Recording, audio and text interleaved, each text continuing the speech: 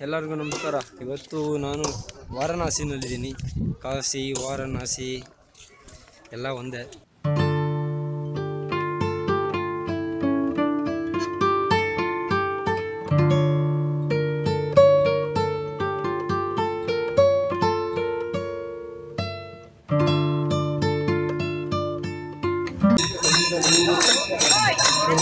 So ಅದೇನೆ ಕಾಶಿ ವಿಶ್ವನಾಥ ನೆಲೆಸಿರ್ತಕ್ಕಂಥ ಒಂದು ಸನ್ನಿಧಿ.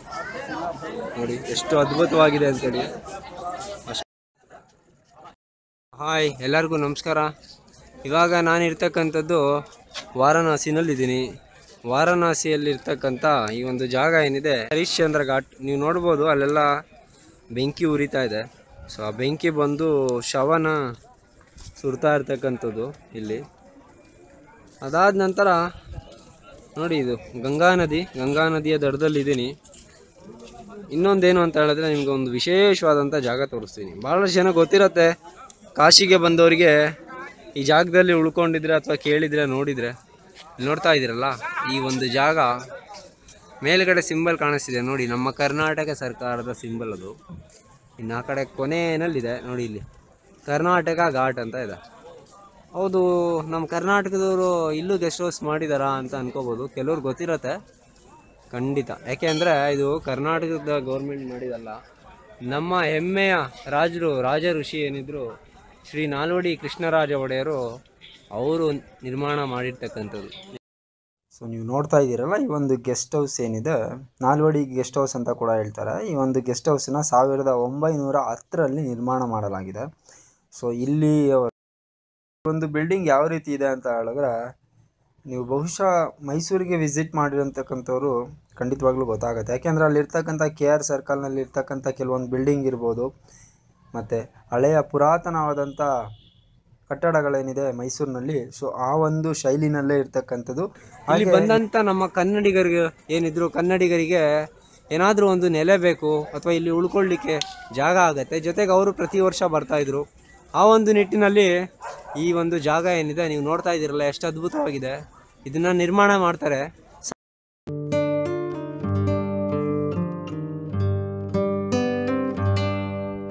ಮತ್ತು ಈ ಒಂದು ಕರ್ನಾಟಕ ಕಾಟ ಏನಿದೆ ಇಲ್ಲಿರ್ತಕ್ಕಂಥ ನಾಲ್ವಡಿ ಗೆಸ್ಟ್ ಹೌಸ್ ಅಥವಾ ಕರ್ನಾಟಕ ಗೆಸ್ಟ್ ಹೌಸ್ ಅಂತ ಕೂಡ ಹೇಳ್ಬೋದು.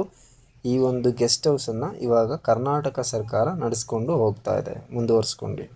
ಈ ಒಂದು ಶೈಲಿ ನೀವು ನೋಡ್ಬೋದು ನಮ್ಮ ಮೈಸೂರಿನಲ್ಲಿರ್ತಕ್ಕಂಥ ಕೆಲವು ಬಿಲ್ಡಿಂಗ್ಗಳು ಏನಿದೆ ಮಹಾರಾಜ ಕಾಲೇಜ್ ಇರ್ಬೋದು. ಸೊ ಅದೇ ಒಂದು ಶೈಲಿನಲ್ಲಿದೆ. ನೀವು ನೋಡಿ, ತುಂಬ ಚೆನ್ನಾಗಿದೆ. ಈ ಕರ್ನಾಟಕ ಘಾಟ್ ಅಂತೇಳಿ ಆ್ಯಕ್ಚುಲಿ ನಾಲ್ವಡಿ ಗೆಸ್ಟ್ ಹೌಸ್ ಅಂತ ಇದರ ಇನ್ನೊಂದು ಹೆಸರು. ಕರ್ನಾಟಕ ಘಾಟ್ ಆ್ಯಕ್ಚುಲಿ ಇಲ್ಲಿ ನೀವಿದೆ ನೋಡ್ಬೋದು. ನೀವೇನಾದರೂ ಬಂದಾಗ ಉಳ್ಕೋಬೇಕಂತ ಹೇಳಿದ್ರೆ, ಇದು ನೋಡಿ ಹರಿಶ್ಚಂದ್ರ ಘಾಟ್ ಪಕ್ಕದಲ್ಲಿ ಹನುಮಾನ್ ಘಾಟ್ ಅಂತ ಇದೆ. ಇಲ್ಲೂ ಸಿಗುತ್ತೆ. ಅಥವಾ ಹರಿಶ್ಚಂದ್ರ ಘಾಟ್ ಏನಿದೆ, ಅದ್ರ ಪಕ್ಕದಲ್ಲೇ ಇರ್ತಕ್ಕಂಥದ್ದು ಈ ಕರ್ನಾಟಕ ಘಾಟ್. ಕರ್ನಾಟಕ ಘಾಟ್ ಅಂತ ಇದೆ. ಇಲ್ಲಿ ಬಂದರೆ ನೀವು ಉಳ್ಕೋಬೋದು ರೂಮ್ ಕೂಡ ಅವೈಲೇಬಲ್ ಇದೆ.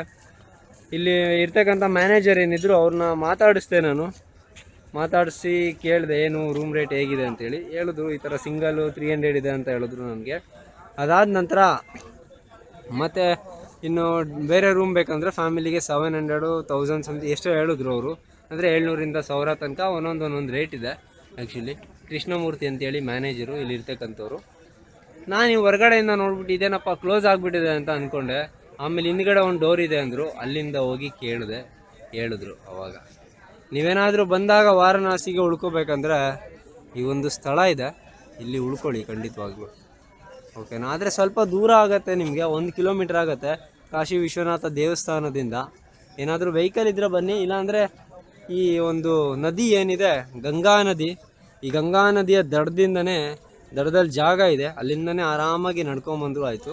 ನಿಮಗೆ ಒಂದು ಹದಿನೈದು ನಿಮಿಷಗಳ ಕಾಲ ಈ ಒಂದು ಘಾಟ್ ಸಿಕ್ಬಿಡುತ್ತೆ. ಓಕೆನಾ ಸಿಗ್ತೀನಿ ಮತ್ತೆ ಇನ್ನೊಂದು ವಿಡಿಯೋದಲ್ಲಿ